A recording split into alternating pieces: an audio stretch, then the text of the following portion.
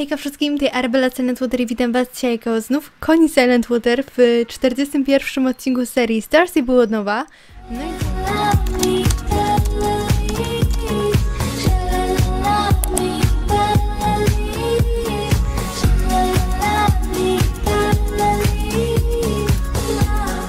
Okej, jeszcze zanim sobie przejdziemy konkretnie do odcinka, chciałabym Was zaprosić do opisu, gdzie znajdziecie link do mojego Linktree. E, Tam znajdziecie m.in. link do Instagrama, TikToka, a także do mojego serwera na Discordzie Arabelki, gdzie Was wszędzie serdecznie zapraszam. Chciałabym również dodać, że materiał, który zaraz zobaczycie, e, jest to jakby Nagrywałam to około rok temu, jakby to, jest, to są moje zapasy.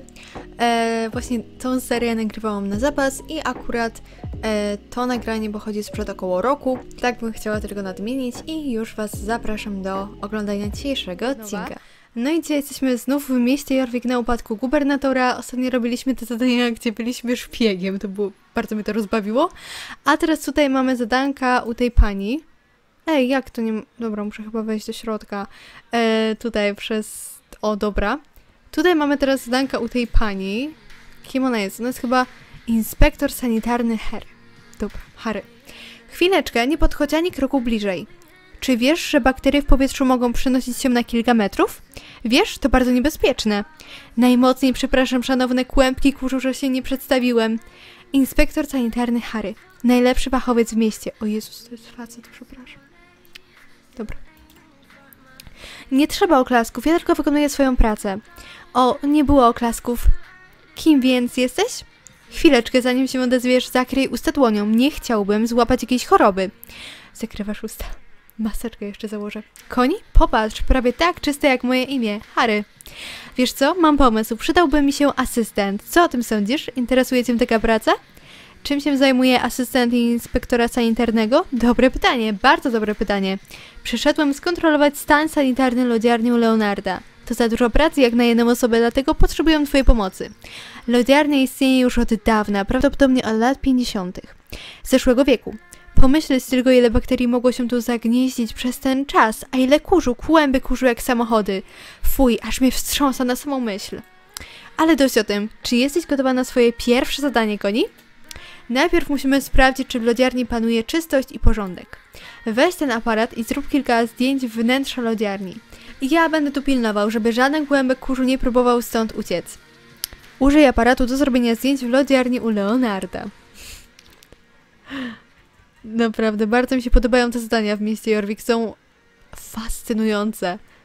W ogóle pomyliłam. Myślałam, że to jest kobieta, bo to mi wyglądało na kobietę. To jest facet i mi teraz trochę głupio.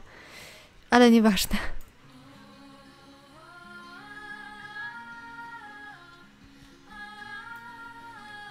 O, Darkness Falling od Lisy Peterson. Tu mają dobry gust w tej lodziarni, naprawdę. Lisy, słuchać to. Fajnie, fajnie. Doskonale. Daj mi sekundę, żebym przyjrzał się tym obrazkom. Dziwne, żadnych dużych kłębów kurzu. Wygląda na to, że jest czysto, ale wszyscy wiemy, jak pozory mogą mylić. Czy wspomniałem już, że ta lodziarnia istnieje od lat 50. zeszłego wieku? Można się więc chyba domyślać, jak stare są lody. Pozostaje tajemnicą, dlaczego lody wyglądają nadal tak dobrze, ale jak już mówiłem, nie należy ufać pozorom. Musimy to zbadać z największą dokładnością. Następnym krokiem będzie pobranie próbek, wtedy zyskamy pewność, czy lody są stare i pełne paskudnych bakterii. Oto kilka próbówek. Napełnij je lodami z lodziarni, a ja prześlę je do laboratorium. Nie zapomnij o próbce lodów truskawkowych, przyciągają bakterie jak magnes. Napełnij prób probówkę lodami z lodziarni u Leonarda. No dobra. To chyba... A, to tutaj, dobra.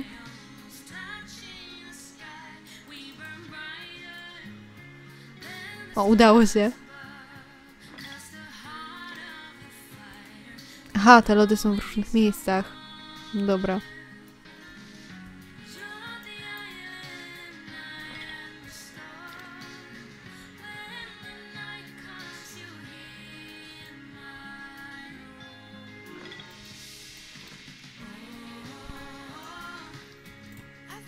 Dobra robota, Goni. Prześlę je natychmiast do laboratorium.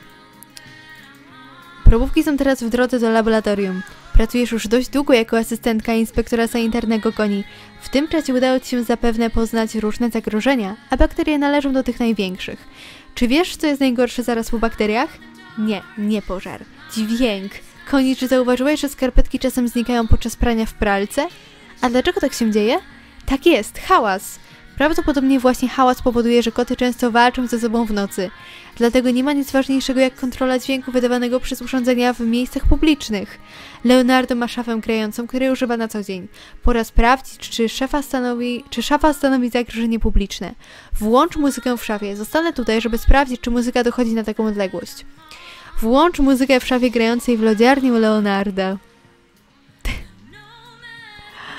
Okej, okay, trzeba widzę tutaj inspektor dba o to, żeby wszystko sprawdzić wzdłuż i wszerz.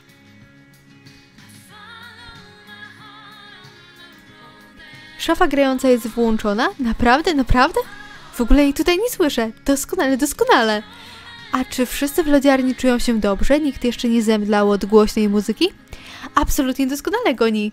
Moje zadanie tu dobiegło końca. Właśnie dowiedziałem się, że laboratorium zbadało próbki. Wszystko jest w doskonałym porządku. Osobiście uważam, że to niesłychane. W końcu lody mają już przeszło 50 lat, nie do wiary. Ale wyniki badań przecież nie kłamią. I jednego można być pewnym, Koni. Inspektor sanitarny zawsze mówi prawdę. Muszę przyznać, Koni, że jesteś zdolną asystentką. Niestety rola inspektora sanitarnego została powierzona mnie.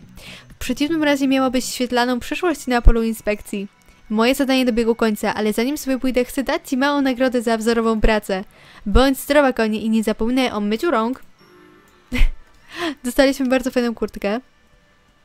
Płaszcz laboratoryjny. No dobra. To zobaczmy, czy coś jeszcze jest tutaj do zrobienia na upadku gubernatora. Nic już tutaj nie mamy do roboty raczej, więc teraz musimy dostać się na plac Aiden, ale uciekł nam tramwaj, więc musimy po prostu poczekać na kolejny. Ok, tutaj widzę, że mamy jakieś zadanie u Anni, sprzedawczyni czapek. Witaj, jak się nazywasz, jeśli można spytać? Koni, miło mi Cię poznać, Koni. Interesują Cię te czapki? Planuję otworzyć sklep przy tym placu, żeby sprzedawać czapki, ale potrzebuję asystentki na dobry początek. Jeśli interesują Cię te czapki, może pomogłabyś mi ze sklepem? Czapki, które dostałem, to tylko egzemplarze pokazowe. Potrzebują pomocy, żeby przenieść kilka pudełek w to miejsce. Czy możesz pójść na przystanek tramwajowy po te pudełka?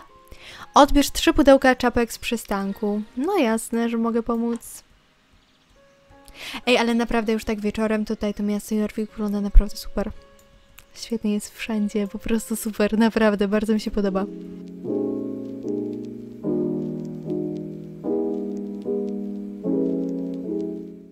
Super, zebrałaś już wszystkie pudełka. Jak widać po egzemplarzach pokazowych, czapki mają różne kolory, a na niektórych widnieje śmieszna buźka. Na pewno staną się przebojem, są bardzo wygodne i stylowe. Koni, czy możesz ustawić pudełka obok stoiska tutaj? Dzięki temu będzie można rozpocząć sprzedaż. Umieść pudełka obok stoiska. Jasne.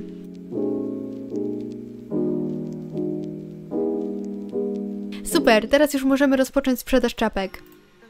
Skoro już mamy wystarczająco dużo czapek, musimy teraz poinformować mieszkańców o otwarciu nowego sklepu. Sklep będzie niczym bez klientów, a do tej pory nikt nie słyszał, że najlepsze czapki w Jorku są właśnie tutaj, w alejce przy placu Aiden. Szkoda by było, gdyby nikt nie mógł ich znaleźć. Wydrukowałem ulotki, które trzeba roznieść w okolicy placu. Czy mogłabyś porozkładać te ulotki w różnych miejscach? Porozmieszczaj je po całej okolicy, żeby przyciągnęły więcej klientów. Roznieść ulotki w okolicy placu Aiden. Okej, trzeba sobie pomagać wzajemnie, więc oczywiście, że pomogę.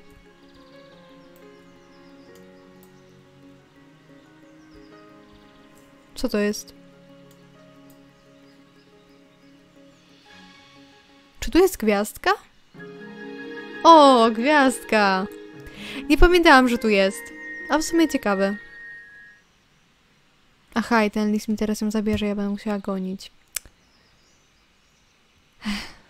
No dobra. Trzeba teraz polecić za lisem przy okazji. Tu jest. O nie! Zwiał mi. Lisku!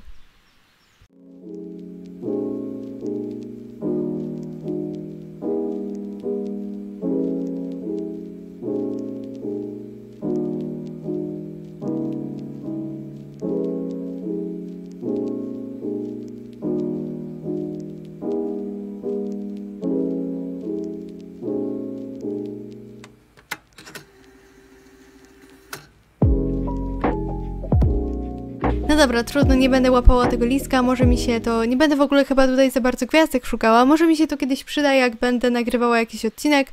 Może nagram ten odcinek z wszystkimi gwiazd gwiazdkami na Jorwiku, jeżeli chcecie taki odcinek, to dajcie znać, może akurat nagram z tego konta, to konto mi do tego posłuży, zobaczymy. Super, teraz ludzie na pewno będą wiedzieć, gdzie najlepiej kupować czapki. Teraz już potrzebujemy tylko jednej rzeczy, żeby nasze czapki rozchodziły się jak świeże bułeczki. Chociaż ciepła, słoneczna pogoda to nie najlepszy moment na czapki, nie byłoby dobrze, gdyby klienci zaczęli się pod nimi rozpływać. Najlepszą reklamą jest zadowolony klient koni, dlatego jeśli ludzie zaczną chwalić nasz sklep, przyciągną do nas całe tłumy. Zobaczmy, co by tu wybrać. Tak, różowa będzie dobra. Masz koni, potraktuj tę czapkę jako egzemplarz pokazowy. Mogłabyś teraz przejść się z nią po mieście, tak żeby każdy mógł się jej przyjrzeć, a jeśli ktoś wyrazi zainteresowanie, powiesz mu o naszym sklepie. Pokaż modele czapek mieszkańcom miasta. No dobra. Muszę założyć czapkę. Chyba? Czy nie? Nie wiem. Aha, ja tak muszę im. Tak, dziękuję, to chyba najlepsze czapki. Też chcę mieć taką czapkę. Dobra, nie będę tego czytać, bo to za długo zajmie, ale po prostu przejdziemy się i pokażemy wszystkim czapki.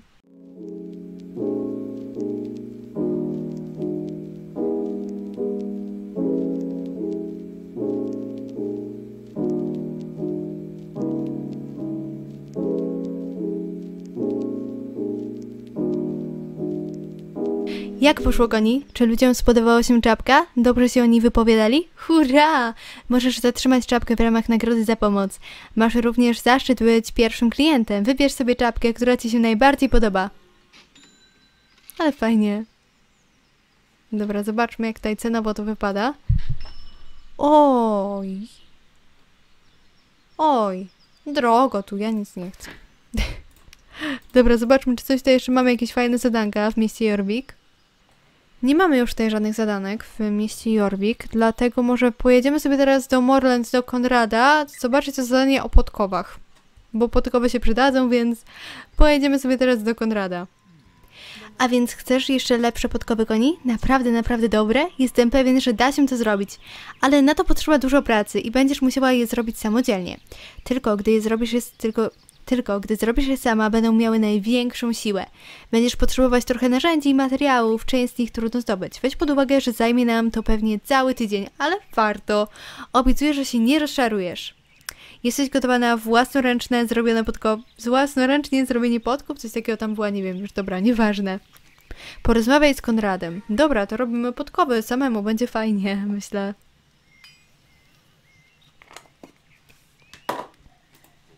A więc dobrze, koni, zacznijmy kucie podków od dla Scarlet. Ponieważ używamy różnych rodzajów żelaza, będziemy też potrzebować pewnej specjalnej wody, by schłodzić metal.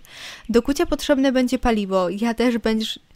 Je też będziesz musiała zdobyć. Piec i narzędzia, które mam, oczywiście są do Twojej dyspozycji podczas pracy pod, pod, nad podkowami tak długo, jak będziesz robić dokładnie, co powiem. Ło, ło. Wody roztopowe. A teraz posłuchaj koni. Na szczytach Waldale możesz znaleźć to źródło rzeki Srebrnej Pieśni. Woda pochodzi z dawnych lodowców, które powoli topnieją w dolinie ukrytych dinozaurów. Źródło pełne jest magicznej mocy, która pomaga stworzyć podkowę szybsze niż wiatr. Proszę koni, weź moje wiadro, jest ponad Waldale i napełni wiadro wodą ze źródła rzeki Srebrnej Pieśni. W pobliżu wschodniego wybrzeża Waldale. Jest szary szlak wiodący do miejsca, gdzie powinna być zebrana woda.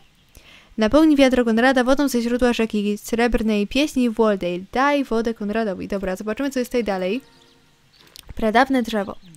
Słuchaj uważnie, koni. Jeśli podkowy mają mieć wyjątkową siłę, do pieca w kuchni trzeba dorzucić drewno o pradawnej mocy.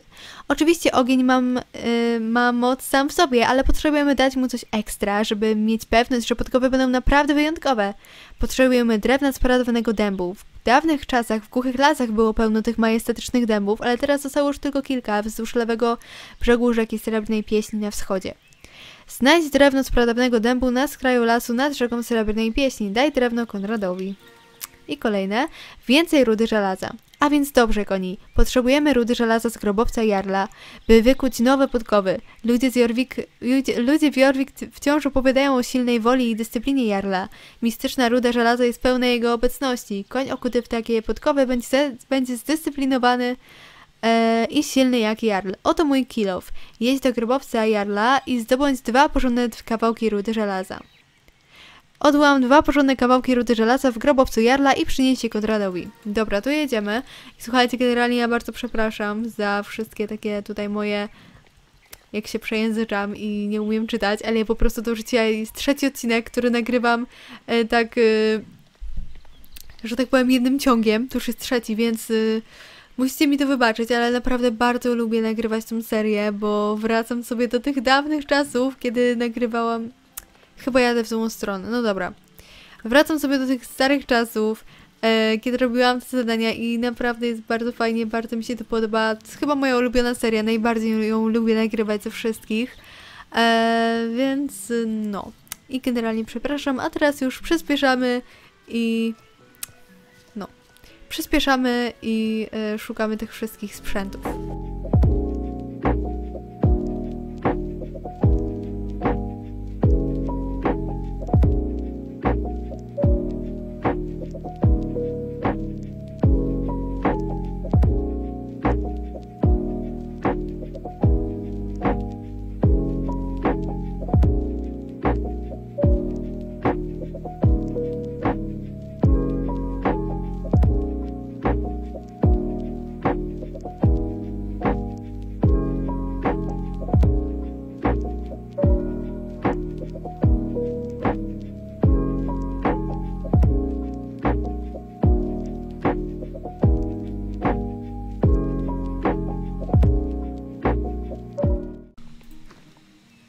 Dobra, mamy wszystko ogarnięte, więc teraz tutaj porobimy. Tam jest woda. Czujesz jej moc, koni? To drewno lśni mocą koni. Twoje podkowy powinny być mocniejsze niż zakładaliśmy. Super, koni, teraz jesteśmy gotowi do wykucia podków.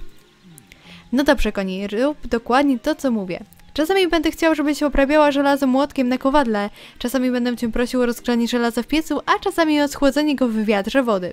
Powiem ci, kiedy masz wykonać te różne zadania. Synchronizacja jest niezwykle ważna, żeby zrobić to dobrze.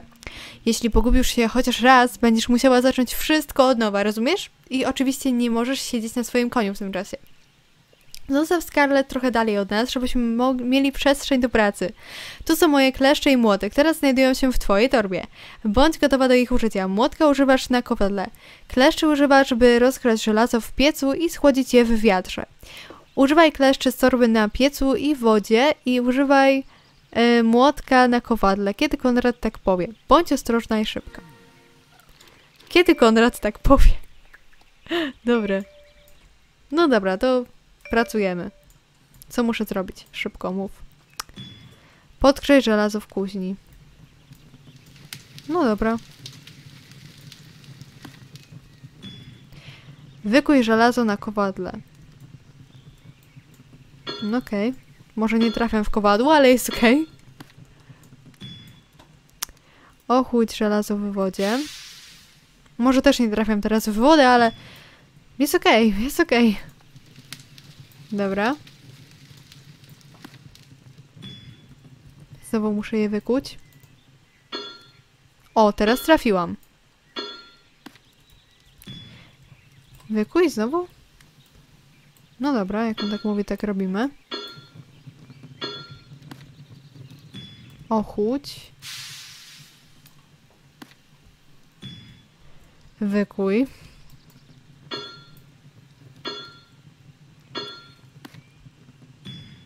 Podgrzej.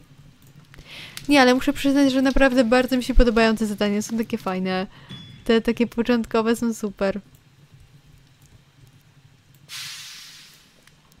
Dają mi taki vibe po prostu 2015 roku, jak zaczynałam grać. Chociaż to był chyba 2014, nie wiem. 2014 to był, ale te zadania akurat robiłam w 2015. Muszę powiedzieć, że byłaś bardzo pojętną uczennicą. Może chciałabyś pewnego dnia zostać kowalem. W każdym razie będziemy kontynuować jutro. Żelazo trzeba zostawić na jeden dzień, by, móc by moc podków była tak duża, jak to możliwe. No i kolejne zadanie dzienne, kochani. Myślę, że sobie zakończymy na dzisiaj ten odcinek. Ja Wam wszystkim bardzo dziękuję za oglądanie. E, no i co? W następnym odcinku myślę, że porobimy sobie znów te zadanka tutaj z Murland, jak już tutaj jesteśmy. I co? Do usłyszenia. Pa!